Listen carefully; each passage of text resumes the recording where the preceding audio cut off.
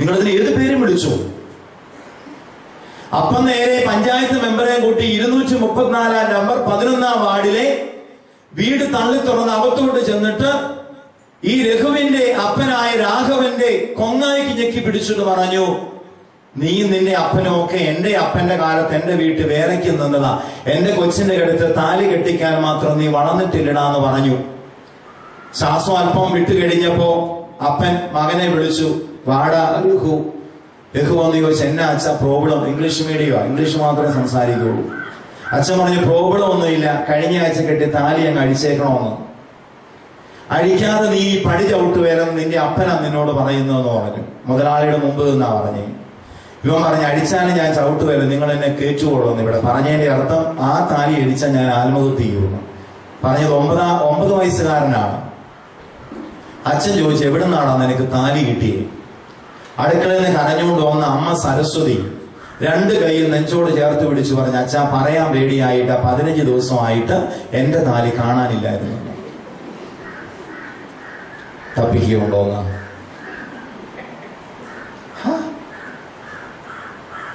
അമ്മമാരെ വളരെ സ്നേഹത്തോടെ ഞാൻ പറയുന്നു ഒരു പതിനഞ്ച് ദിവസത്തിൽ ഒരിക്കൽ നിങ്ങൾ തപ്പിയിരിക്കണം.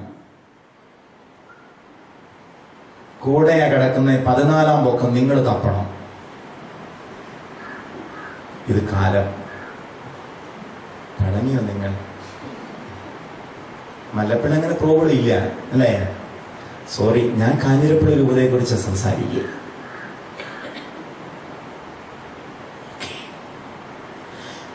അപ്പൊ കുടുംബം എന്നാൽ ഇത് വളരുന്ന ദൈവത്തിന്റെ സംവിധാനമാണ്. വളർത്തേണ്ട ദൈവിക സംവിധാനമാണ്. ഞാൻ പറഞ്ഞു വെക്കുന്നത് നമ്മുടെ കുടുംബം ഹൃദയത്തിന്റെ തുറവിയുള്ള ഒരു തലമായിട്ട് മാറണം. വിശുദ്ധ കുർബാനയിലേക്ക് നോക്കിക്കേ. ആ ദിവ്യകാരുണ്യത്തിന്റെ ഒരു തുറവി എത്ര വലുതാ? പരിശുദ്ധ ത്രിത്വം ഈ ഭൂമിയിലേക്ക് വളർന്നു. അതാണ് കാലിത്തൊഴുത്ത്. ആ കാലിത്തൊഴുത്ത് വളർന്നു. അതാണ് വിശുദ്ധ കുർബാന. ആ ദിവ്യകാരുണ്യം വളർന്നു അതാണ് കാൽവരി. ആ കാൽവരി വളർന്നു അതാണ് സ്വർഗം എന്റെ കുടുംബ ജീവിതത്തിൽ ഈ ഒരു വളർച്ച എത്രമാത്രം സാധ്യമാവുന്നുണ്ടെന്ന് ചിന്തിക്കണം. ഒരു കഥ പറയാം. ചിന്തിക്കാനുള്ളതാണ് ചിരിക്കാനുള്ളതല്ല ശ്രദ്ധിച്ചു കേട്ടാൽ മനസ്സിലാവും. കോപ്പി അടിച്ച കഥയാണ്. ഐ ജിമാർ ഒരു കോപ്പി അടിക്കുന്ന കാലമല്ലേ? ഒരു ദിവസം രാവിലെ ഒരു പരമദരിദ്രനായ ഒരു കുട്ടി ആ നാട്ടിലെ വളരെ ധനവാനായ ഒരു മനുഷ്യന്റെ വീട്ടിൽ കയറി ചെന്നു. ഈ കൊച്ചു കയറി ചെന്നപ്പോ കാണുന്നത് ഈ മനുഷ്യൻ വളരെ വിലപിടിപ്പുള്ള ഒരു കാറ് കഴുകിക്കൊണ്ടിരിക്കുവാണ്. ഈ കുട്ടി ചോദിച്ചു അങ്കിൾ ഈ കാർ എവിടുന്ന? ആ മനുഷ്യൻ പറഞ്ഞു മോനെ ഇത് എനിക്ക് ഒരു സുഹൃത്ത് തന്നതാണ്. ഇത് കേട്ടപ്പോ ആ കൊച്ച് രണ്ടു മൂന്ന് പ്രാവശ്യം ഇങ്ങനെ ആത്മഗതം ചെയ്തു ഈശോയെ എനിക്കും ഇങ്ങനെ ഒരു എനിക്കും ഇങ്ങനെ ഒരു എനിക്കും ഇങ്ങനെ ഒരു ഡാഷ് എന്തോ ആ കൊച്ചു പറഞ്ഞു. പിന്നെ പൂരിപ്പിക്കാം. ഈ കുഞ്ഞിന്റെ മറുപടി കേട്ടപ്പോ ഈ മനുഷ്യൻ ആ കൊച്ചിനെ തന്റെ വിലപിടിപ്പുള്ള കാറിൽ എടുത്തു വെച്ചു. ആ കൊച്ചു പോകാൻ ആഗ്രഹിക്കുന്ന സ്ഥലങ്ങളിലൂടെ എല്ലാം പോയി. പോയ വഴിക്ക് സർക്കസ് കൂടാരം കണ്ടപ്പോൾ ഒരു സർക്കസ് കാണണമെന്ന് ആഗ്രഹം ഒരു തിയേറ്റർ കണ്ടപ്പോൾ സിനിമ കാണണമെന്ന് ആഗ്രഹം ഒരു ഹോട്ടൽ കണ്ടപ്പോൾ ഭക്ഷണം മേടിച്ചു കൊടുത്തു ഒരു ടെക്സ്റ്റൈൽസ് കണ്ടപ്പോൾ ധാരാളം ഡ്രസ്സ് മേടിച്ചു കൊടുത്തു.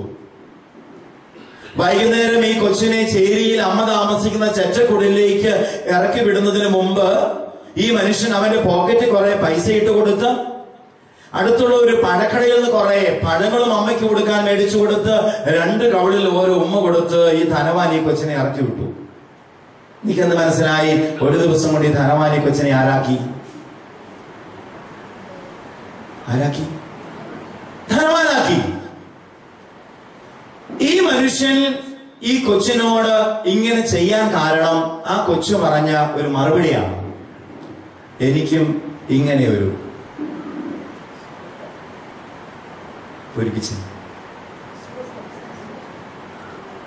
എനിക്കും ഇങ്ങനെ ഒരു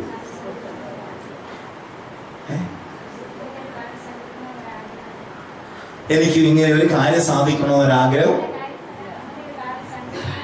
ആ അങ്ങനെ ഒരു കാറിൽ സഞ്ചരിക്കണം. അല്ലെ എനിക്കും ഇങ്ങനെ കാർ ഉണ്ടായിരുന്നെങ്കിൽ അല്ലെ?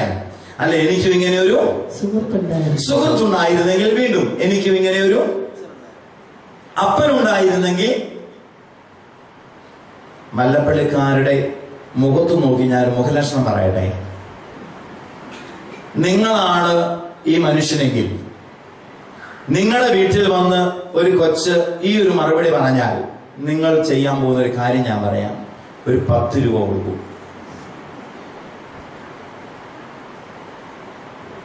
ശരിയല്ലേ? നിങ്ങൾ പറഞ്ഞ എല്ലാ ആൻസറും തെറ്റി. ഈ കുഞ്ഞ് പറഞ്ഞ ആൻസർ ഇതാണ് എനിക്കും ഇങ്ങനെ ഒരു സുഹൃത്താകാൻ കഴിഞ്ഞിരുന്നെങ്കിൽ. എന്ത് വ്യത്യാസം?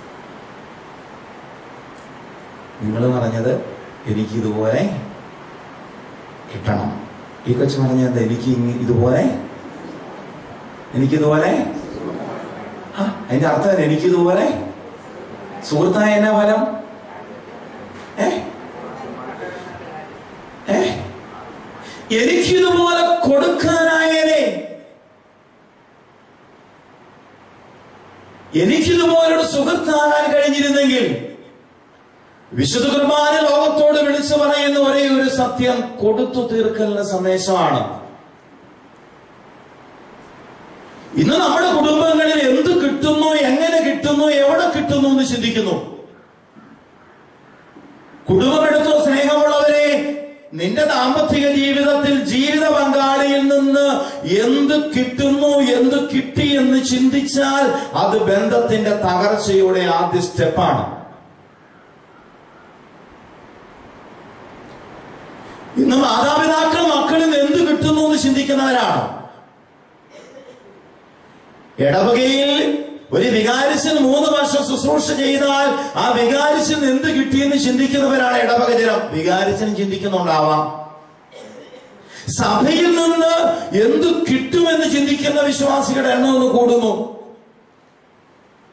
നമ്മുടെ കുടുംബത്തിൽ ഒരു പുതിയ സംസ്കാരം രൂപം കൊള്ളേണ്ടത് കാലഘട്ടത്തിന്റെ ആവശ്യമാണ്. അത് എന്ത് കിട്ടി എന്നല്ല എന്തു കൊടുത്തു എന്ന് ചിന്തിക്കുക അല്ലയോ ഭർത്താവെ ഭാര്യയെ പത്തോ പന്ത്രണ്ടോ പതിനഞ്ചോ മുപ്പതോ വർഷം ഒന്നിച്ച് ജീവിച്ചിട്ട് ആ ജീവിതത്തിന്റെ ഫലമായി നിനക്ക് എന്തു കൊടുക്കാനായി എന്ന് ചിന്തിച്ചേ? നമ്മുടെ കുഞ്ഞുങ്ങൾക്ക് എന്ത് കൊടുക്കാനായി നീ ചിന്തിച്ചേ? നമ്മുടെ മാതാപിതാക്കൾക്ക് എന്ത് കൊടുക്കാനായി നീ ചിന്തിച്ചേ? മാതാപിതാക്കളിൽ എന്ത് കിട്ടി എന്ന് ചിന്തിക്കുന്നിടത്തൊക്കെ ഈ ബന്ധത്തിന്റെ തകർച്ച ആരംഭിക്കും. കഴിഞ്ഞിടയ്ക്ക് ഞങ്ങളുടെ നാട്ടിലൊരു അപ്പൻ ധാരാളം സമ്പത്തുണ്ട്. മക്കളെല്ലാം കൂടെ ചെന്ന് പറഞ്ഞ അപ്പ വീതം തരാവോ? ഒന്നും തന്നില്ലല്ലോ ഒന്നും കിട്ടിയില്ലല്ലോ. അപ്പം പറഞ്ഞു എല്ലാം കാലശേഷമാടാന്ന്. ഇവർ പ്രാർത്ഥിച്ച് പ്രാർത്ഥിച്ച് ഈ മനുഷ്യൻ മരിച്ചു. അപ്പൊ മരിച്ചു കഴിഞ്ഞപ്പോൾ മക്കളെല്ലാം കൂടെ ചെന്ന് അപ്പന്റെ വീഞ്ഞപ്പെട്ടി അടിച്ചു പൊട്ടിച്ച് നോക്കിയപ്പോൾ അതിന്റെ ഏറ്റവും മണ്ടയിൽ അഞ്ഞൂറ് രൂപ വിൽപ്പത്രത്തിൽ അപ്പൻ എല്ലാം എഴുതി വെച്ചേക്കുക ഗൾഫിൽ നിന്ന് വന്ന ഇളയ മകൻ വിൽപ്പത്രം എടുത്ത് ചങ്കിനോട് ചേർത്ത് പിടിച്ച് മനസാപ്രകടനം ചെല്ലാൻ തുടങ്ങി. എന്റെ ദൈവമേ ഏറ്റവും നല്ലവനും. കാരണം ഇത്രയും നന്നായിട്ട് ചെയ്തു വെച്ച എന്റെ അപ്പനെതിരെയാണല്ലോ അപ്പൻ തട്ടിപ്പോകാൻ വേണ്ടി പ്രാർത്ഥിച്ചു വന്നൊരു വേദന. നടുക്കത്തെ മകൻ പറഞ്ഞു വിൽപ്പത്രം വായിച്ചിട്ട് മനസ്സാപ്രകടനം പൂർത്തിയാക്കിയാൽ മതി. അപ്പൊ ഏറ്റവും മൂത്തവൻ ആ വിൽപത്രം കയ്യിലോട്ട് മേടിച്ച് വായിച്ചപ്പോ അപ്പൻ അഞ്ഞൂറ് ആ പത്രത്തിൽ എഴുതി വെച്ചേക്കുക മക്കളെല്ലാം ചത്തു കഴിയുമ്പോൾ അവരുടെ കാശ് എനിക്കാം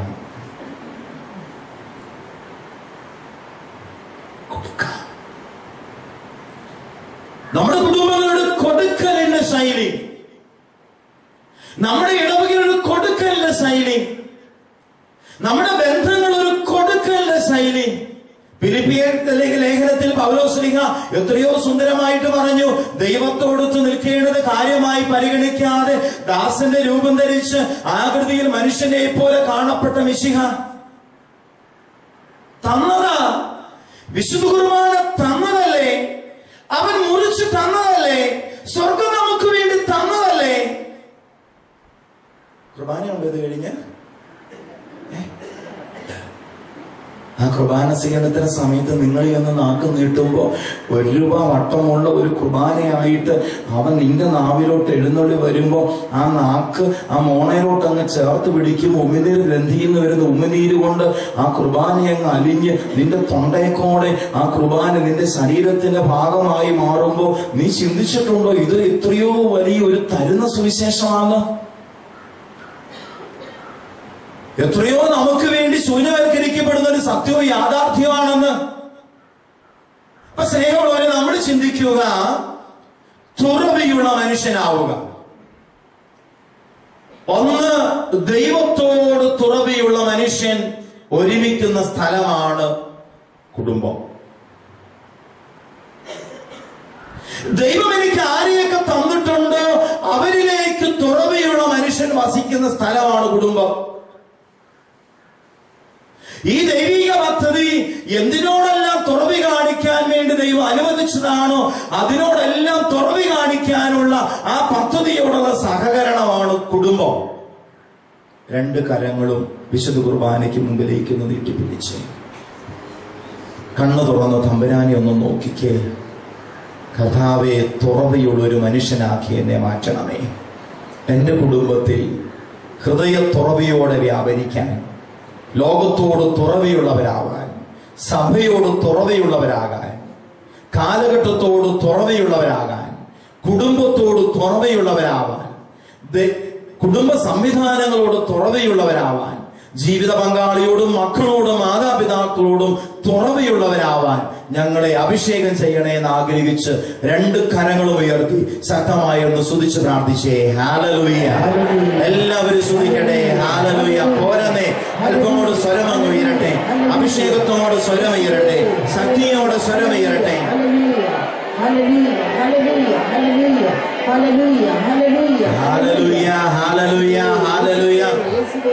സ്വരമുയർത്തി പ്രാർത്ഥിച്ചേ.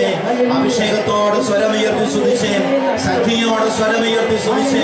കർത്താവേ അടഞ്ഞ കാഴ്ചപ്പാടുകളിൽ നീ അകറ്റണമേ. അടഞ്ഞ മനോഭാവങ്ങളിൽ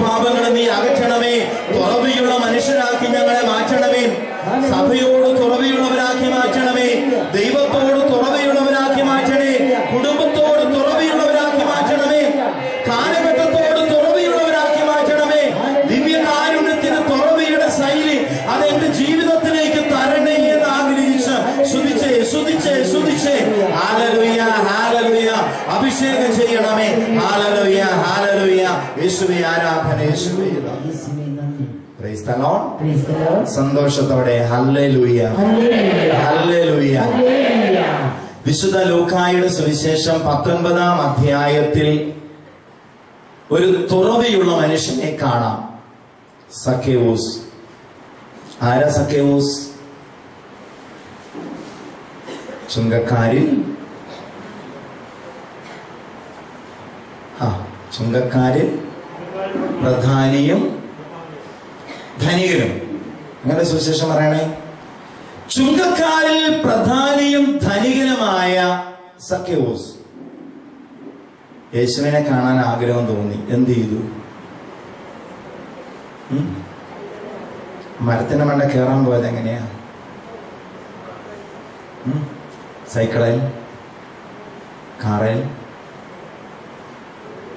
ഓടി. നിങ്ങളുടെ നാട്ടിലെ ഏറ്റവും വലിയ കാശുകാരനെ മനസ്സിലൊന്ന് ഓർത്തി. ആ മനുഷ്യൻ എന്തെങ്കിലും ഓടുന്നത് കണ്ടിട്ടുണ്ടോ റോഡിൽ കൂടെ? രാവിലെ ഓടും നെയ്യുരുകാൻ അല്ലേ? അല്ലാതെ ഓടുന്നത് കണ്ടിട്ടുണ്ടോ? ഇല്ല. അപ്പൊ ചുങ്കക്കാരി പ്രധാനിയും ധനികനുമായ മനുഷ്യൻ ഓടി എന്നാൽ നമുക്ക് എന്ത് മനസ്സിലാക്കണം ഇതിന് ഓടാതിരിക്കാനാവാത്ത എന്തോ ഒരു സംഭവം അതിൽ പിന്നീട് ഉണ്ടായിട്ടുണ്ട്. നിങ്ങൾ മുമ്പേ സങ്കല്പിച്ച ആ മനുഷ്യൻ എന്തെങ്കിലും മരത്തെ കയറുന്ന കണ്ടിട്ടുണ്ടോ?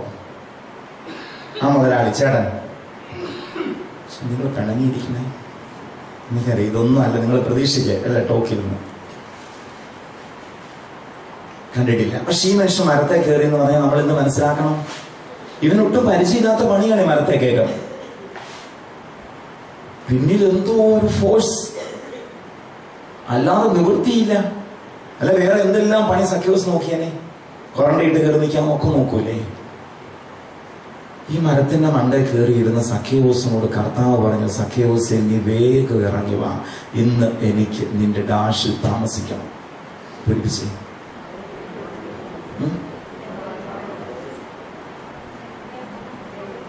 ഹൃദയത്തിലോ? ഭവനത്തിലോ? വീട്ടിൽ. സഖ്യവോസ് ഇന്ന് എനിക്ക് നിന്റെ വീട്ടിൽ താമസിക്കണം. ലൂക്ക പത്തൊൻപത് അഞ്ച്. ഈശോ വീട്ടിൽ നിന്ന് ഇറങ്ങി പോരാൻ നേരത്ത് സഖ്യവസിനോട് പറഞ്ഞു സഖ്യവസെ ഇന്ന് നിന്റെ വീട്? അങ്ങനെയാണോ പറഞ്ഞേ? അല്ല ഇന്ന് ഈ ഭവനം വീടെന്തായി? ഭവനമായി. ഞാൻ ക്ലാസ്സിലെ രണ്ടാം സെക്ഷനിലേക്ക് പ്രവേശിക്കുവാണ്. തുറവിയുള്ള വീട് തുറവിയുള്ള മനുഷ്യർ തുറവിയുള്ള ബന്ധങ്ങൾ അതിലൂടെ സംഭവിക്കുന്ന കാര്യം നമ്മുടെ വീട് ഒരു കുടുംബമാവും. നമ്മുടെ വീട്ടിൽ നേരിടുന്ന ഏത് പ്രതിസന്ധിക്കും ഒരു പരിഹാരം വീട് കുടുംബമാകുക എന്നാണ്. ഒരു വീട് വീടാകണമെങ്കിൽ മൂന്ന് കാര്യങ്ങൾ സംഭവിക്കണം. ഒന്ന് വീടിന് നല്ല ഒരു അടിത്തറ വേണം. അല്ലെ ഈ സെന്റർ പോലെ നിങ്ങൾ പറഞ്ഞിട്ട് സ്ട്രോങ് അടിത്തറയുണ്ട്. ഈ അടിത്തറയിന്മേൽ സുന്ദരമായ ഭിത്തി. സാമ്പത്തിക ബാധ്യത വരാതിരിക്കാൻ ഈ പച്ചനച്ചൻ ഭിത്തി കെട്ടാതെ ഗ്രില്ലിട്ടെ. എന്തായാലും ഒരു സ്ട്രക്ചർ വേണം. ഇത് മാത്രം പോരാ. ഇവിടെ ഇരുന്ന് ഇതൊക്കെ കേൾക്കാനും പഠിക്കാനും ഒക്കെ പറ്റണേൽ ഇതിന് മണ്ടൽ എന്നാ വേണം? ഫാനല്ല റൂഫ് വേണം. ഒരു വീട് വീടാകാൻ അടിത്തറയും ചുവരും മേൽക്കൂരയും വേണം. ഒരു വീട് കുടുംബമാവാൻ മൂന്ന് കാര്യങ്ങൾ സംഭവിക്കണം. ഒന്ന് വീടിന് അതിശക്തമായ ഒരു അടിത്തറ ആവശ്യമാണ്. ഭവനത്തിന് അതിശക്തമായ ഒരു അടിത്തറ വേണം. അടിത്തറ കെട്ടിയിട്ടാൽ വാസയോഗ്യമല്ല. അതിന് സുന്ദരമായ ഭിത്തികൾ സാമ്പത്തിക ശേഷി അനുസരിച്ച് ആർക്കിടെക്ടിന്റെ കലാഭാവന അനുസരിച്ച് ഇതിന് ഭിത്തികൾ വേണം. ഇത് രണ്ടും പോരാ. ഇതിനു വേണ്ട സുന്ദരമായ ഒരു മേൽക്കൂര വേണം. ഭവനത്തിനുണ്ടായിരിക്കേണ്ട അടിത്തറ അതാണ് വിശ്വാസം. വിശ്വാസമാകുന്ന അടിത്തറയും സ്നേഹത്തിന്റെ ഭാഷയാകുന്ന ഭിത്തിയും വിശുദ്ധിയുടെ മഹത്വമാകുന്ന മേൽക്കൂരയും ചേരുമ്പോഴാണ് ഒരു വീട് ഭവനമായിട്ട് മാറുക. വലതുകരം ഉയർത്തി ഹല്ലലുയ്യ കരമൊന്ന് വീശിക്കൊണ്ട് ഹല്ലലുയ്യ അഭിഷേകത്തോടെ ഹല്ലലുയ്യ സന്തോഷത്തോടെ ഹല്ലലുയ്യ കൈകാത്തുക. ഈ മൂന്ന് കാര്യങ്ങൾ പറഞ്ഞാൽ ടോക്ക് തീരും. ഒന്ന് വിശ്വാസം.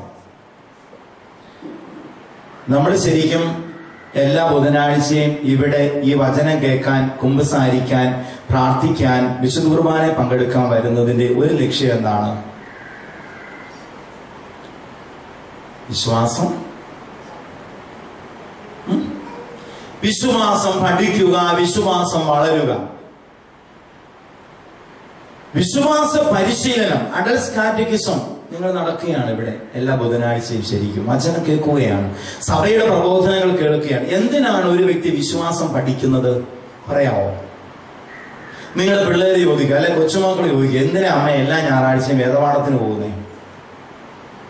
എന്തിനാ വിശ്വാസം പഠിക്കുന്നേ? പറയാമോ നിങ്ങൾ മറക്കാതിരിക്കുക ഡെഫിനേഷൻ ഞാൻ പറഞ്ഞു തരാം. മനസ്സ് കുറിച്ചിട്ടാണോ എനിക്ക് നന്നായി ജീവിക്കുന്നതിനും മറ്റുള്ളവർക്ക് പകർന്നു കൊടുക്കുന്നതിന് വേണ്ടിയാണ് ഞാൻ വിശ്വാസം പരിശീലിക്കുന്നത്. ഒന്ന് ഇതെനിക്ക് ജീവിക്കാനാണ്. രണ്ട് ഇത് മറ്റുള്ളവർക്ക് പങ്കുവെച്ചു കൊടുക്കാൻ ഇത് പകർന്നു കൊടുക്കാനാണ്. കതോലിക സഭയുടെ മതബോധന ഗ്രന്ഥം നൂറ്റി അറുപത്തി ആറാമത്തെ ഖണ്ഡിക വിശ്വാസത്തിന് നൽകുന്ന സുന്ദരമായ ഒരു വ്യാഖ്യാനം ഇതാണ്. ദൈവത്തിന്റെ വിളിക്ക് ഒരു മനുഷ്യൻ അവന്റെ ജീവിതം കൊണ്ട് നൽകുന്ന മറുപടിയാണ് പ്രത്യുത്തരമാണ് വിശ്വാസം. ഉയർത്തി പറഞ്ഞേ ഹല്ലലുയ്യ ഒരുമിച്ച് പറയുന്നു ദൈവത്തിന്റെ വിളിക്ക് ഒരു മനുഷ്യൻ അവന്റെ ജീവിതം കൊണ്ട് നൽകുന്ന പ്രത്യുത്തരമാണ് അഥവാ മറുപടിയാണ് വിശ്വാസം. കൈവീശിക്കൊണ്ട് ഹല്ലലുയ ഹല്ലേലൂയ. സന്തോഷത്തോടെ ഹല്ലലുയ ഹല്ലേലൂയ. അഭിഷേകത്തോടെ ഹല്ലലുയ ഹല്ലേലൂയ. കൈ കാത്തുള്ളൂ വിശുദ്ധ ഗ്രന്ഥത്തിൽ സഭ വിശ്വാസി എന്ന് ആരെയൊക്കെ പേര് വിളിക്കുന്നു അവരുടെ എല്ലാം ജീവിതം എടുക്കുക. ദൈവത്തിന്റെ വിളിക്ക് ജീവിതം കൊണ്ട് മറുപടി കൊടുത്തവരാണവർ. പൂർവപിതാവായ അബ്രഹാം ഇസഹാക്ക് യാക്കോബ് പ്രവാചകന്മാര് രാജാക്കന്മാര് ന്യായാധിപന്മാര്. പുതിയ നിയമത്തിലെ വന്നാൽ സ്നാപക യോഹന്നാൻ പരിശുദ്ധ അമ്മ പന്ത്രണ്ട് അപ്പസ്വലമാര് ആദിമ സഭ ഈ ചുറ്റുപിരിക്കുന്ന വിശുദ്ധർ. ആരെയും എടുത്തു നോക്കിക്കോ ദൈവത്തിന്റെ വിളിക്ക് ജീവിതം കൊണ്ട് പ്രത്യുത്തരം നൽകിയവരാണ് വിശ്വാസികൾ. അപ്പൊ എന്റെ കുടുംബ ജീവിതത്തിൽ ഈ വിശ്വാസത്തിന്റെ പ്രസക്തി എന്താണ്? ആരാണ് വിശ്വാസി? ഒന്ന് തിമോത്തി അഞ്ച് എട്ട്. മനസ്സ് കുറിച്ചിടണം ഒന്ന് തിമോത്തി അഞ്ച് എട്ട്. ഒരുവൻ തന്റെ സ്വന്തക്കാരുടെയും വിശിഷ്യ തന്റെ കുടുംബ അംഗങ്ങളുടെയും ആവശ്യങ്ങൾ നിറവേറ്റുന്നില്ലെങ്കിൽ അവൻ വിശ്വാസം ത്യജിച്ചവനും അവിശ്വാസിയേക്കാൾ ഹീനനുമാണ്. വളരെ ഉയർത്തുകയും വചനമേറ്റു പറയുന്നു ഒരുവൻ തന്റെ സ്വന്തക്കാരുടെയും വിശിഷ്യ കുടുംബ അംഗങ്ങളുടെയും ആവശ്യങ്ങൾ നിറവേറ്റുന്നില്ലെങ്കിൽ അവൻ വിശ്വാസം ത്യജിച്ചവനും അവിശ്വാസിയേക്കാൾ ഹീനനുമാണ്. കരവീശി ഹല്ലേലൂയ. അഭിഷേകത്തോടെ ഹല്ലേലൂയ സന്തോഷത്തോടെ ഹല്ലലുയ. ശക്തിയോടെ ഹല്ലലുയ. കൈതാത്തിട. അപ്പസ്വല പറഞ്ഞു വെക്കുന്നത് വിശ്വാസം എന്ന് പറയുന്നത് ആവശ്യങ്ങൾക്ക് വേണ്ടിയുള്ള നിലകൊള്ളലാണ് എന്റെ ജീവിത പങ്കാളിയുടെ ആവശ്യങ്ങൾക്ക് വേണ്ടി നിലകൊള്ളാൻ.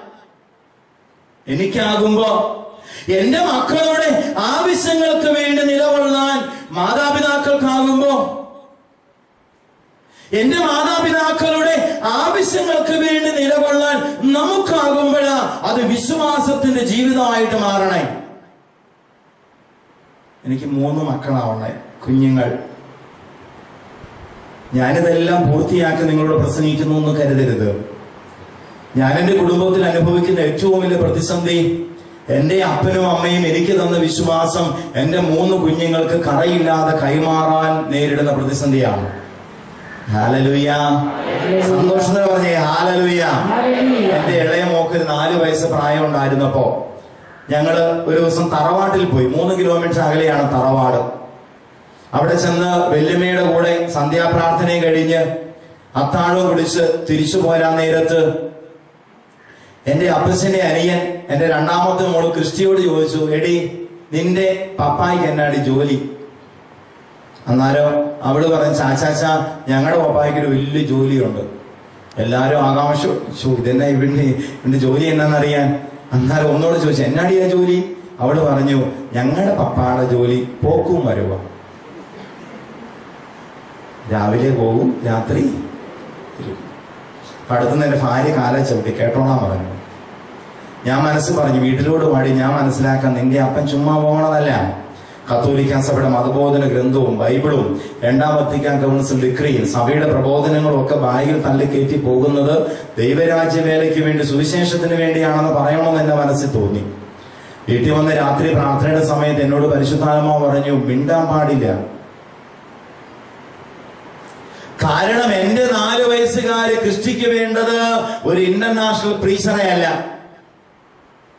അവക്ക് വേണ്ടത് ആ നാല് വയസ്സ് പ്രായത്തിലേക്ക് ഇറങ്ങി വന്ന് അവക്ക് മീശ പിരിക്കാനും അവക്ക് കവളെ കടിക്കാനും അവക്ക് കുട്ടപ്പുറം കയറാനും അവളെ കഞ്ഞിയും കറിയും വെക്കുന്ന പഠിപ്പിക്കാനും അവളെ സൈക്കിൾ കയറ്റം പഠിപ്പിക്കാനും അവക്ക് കൂട്ടുകൂടാനും അവളുടെ പ്രായത്തിലേക്ക് ഇറങ്ങിച്ചെല്ലുന്ന ഒരു നാലര വയസ്സുകാരൻ അപ്പനെയാണ് എന്റെ കൃഷിക്ക് വേണ്ടത്. തെറ്റിദ്ധരിക്കാതിരിക്കുക തെറ്റിദ്ധരിക്കാതിരിക്കാൻ ഞാനൊരു ഇന്റർനാഷണൽ പ്രീച്ചറും അല്ല ഫുൾ ടൈം ശുശ്രൂഷകനും അല്ല കേട്ടോ. ഞാൻ സാധാ കർഷകനാണ്. ഞാൻ സാധാ കർഷകനാണ്. സ്നേഹമുള്ളവരെ എന്റെ മാതാപിതാക്കൾ എനിക്ക് തന്ന വിശ്വാസം അത് എനിക്ക് കൈമാറി കൊടുക്കാൻ എന്റെ മക്കളിലേക്ക് ആകുന്നുണ്ടോ എന്ന് ചിന്തിക്കേണ്ടത് ആവശ്യമാണ്. കത്തോലിക്ക സഭയ്ക്ക് രണ്ടായിരം വർഷത്തിലധികമുള്ള പാരമ്പര്യമുണ്ടെന്ന് നമ്മൾ അഭിമാനിക്കുമ്പോ നിങ്ങൾ ഒരു കാര്യം മനസ്സിലാക്കിക്കോ. അതിന്റെ പിന്നിലുള്ള കാരണത്തിന്റെ മുഴുവൻ ക്രെഡിറ്റിനും കാരണം കത്തോലിക്ക സഭ ശക്തമായി കാത്തു സൂക്ഷിച്ച കുടുംബ പ്രാർത്ഥനയുടെ കരുത്താണ്. ഹാലലുയ സ്വരമുയർത്തി ഹാലലുയ അഭിഷേകത്തോടെ ഹാലലുയ. ഇന്ന് കുടുംബത്തിൽ വേണ്ടതുപോലെ വിശ്വാസ പരിശീലനം നടക്കുന്നില്ലെങ്കിൽ അതിന് കാരണം കുടുംബ പ്രാർത്ഥനയിലൂടെ വിശ്വാസത്തിന്റെ വില തലമുറയോട് വിളിച്ചു പറയാൻ മാതാപിതാക്കൾ ചങ്കൂറ്റം കാണിക്കാത്തത് കൊണ്ട് മാത്രമാണ്